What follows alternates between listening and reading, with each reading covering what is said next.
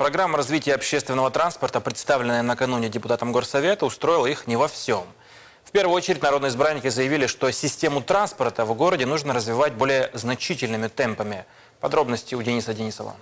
На протяжении длительного времени в городе наблюдалось снижение объемов перевозок общественным транспортом, и только в 2018 году данный показатель стабилизирован и остался на уровне 2017 года. Из доклада руководителя департамента транспорта следует, что это своего рода победа. Однако депутаты стабилизацию посчитали недостатком и захотели увидеть план развития. Реформа системы общественного транспорта, говорили они, началась весной и обещала качественный скачок. Однако пока его не произошло. Резонанс э, реформы большой очень.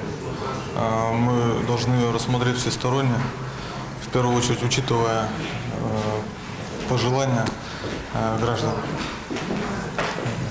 Были допущены ошибки, их надо исправлять.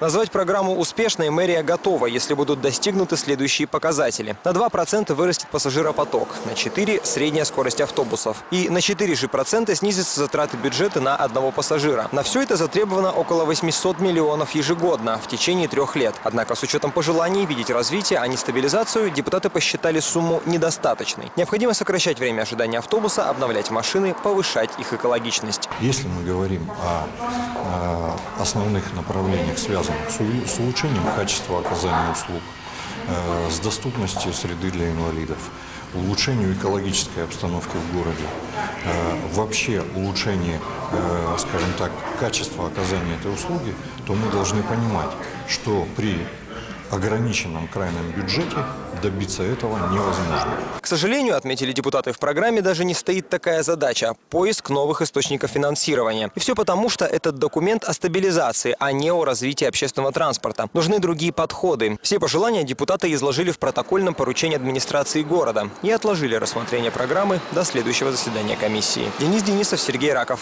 Седьмой канал.